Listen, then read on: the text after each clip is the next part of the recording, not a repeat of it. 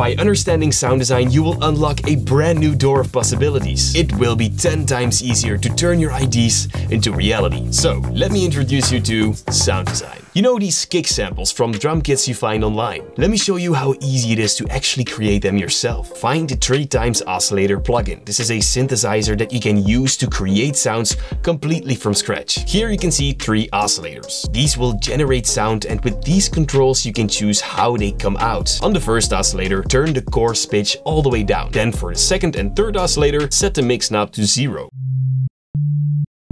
A kick is usually a sine wave, so make sure that's selected. Now, on the top left, click the settings icon and go to the wrapper settings. We're gonna use the envelope to make it sound like a kick. First, turn all the knobs down like this and go to the decay control. Increase it just a little bit. Now, it's already starting to sound like a kick.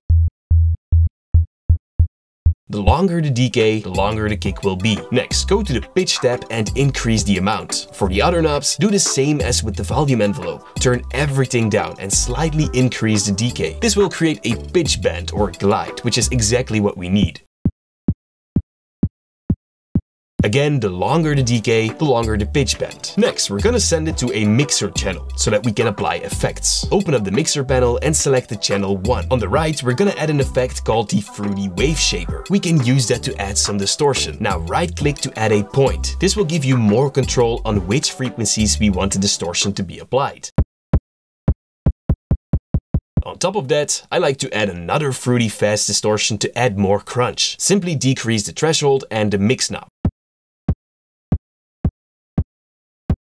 If your kick has an annoying resonance, feel free to add an equalizer and find it by swiping through the spectrum. Once you found it, simply go to the right and turn it down. And now you know how to create a basic kick from scratch. Sound design trick number two, layering two or more sounds to create one unique sound that no one has ever used before. Let's say we want to merge these two kicks into one sample. We can put them underneath each other and mess with the gain. But there's a more advanced way that we can do this. Since FL Studio 21, you have these crossfades. Let's say I like the body of the first kick and the tail of the second one? Well, to merge them, simply drag them into each other. This will automatically create the crossfade. Now the trick is messing with the crossfades. Now it's really important to make sure that the shape of the kick will maintain. Also play around with the gain of both samples as well to match the shapes.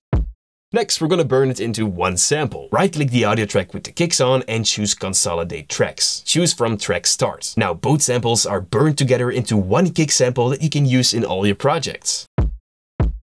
That sounds awesome, but I think you're ready for trick number three, creating endless 808s. Let me help you with that. First, open up the sample in the channel rack. Right-click it and choose Edit in Audio Editor. Now Edison will open up. On top, click the magnet tool and make sure Snap to Zero Crossing is enabled. Then click the marker and choose Set Loop. Now we're gonna use these markers for that. Zoom in by simply scrolling your mouse. Then make sure one wave of your sound is selected. We're gonna make this selected part loop endlessly. Next, open up the sampler again and drag it inside. This will apply the loop you created to this sample. Now, of course, make sure loop point is enabled. Then go to the volume envelope and drag all the knobs to zero, except for the hold control. If you now play a note, it will play endlessly. This is nice, but we're not done yet. When we release the note, we want it to fade out. And to make that happen, simply increase the release.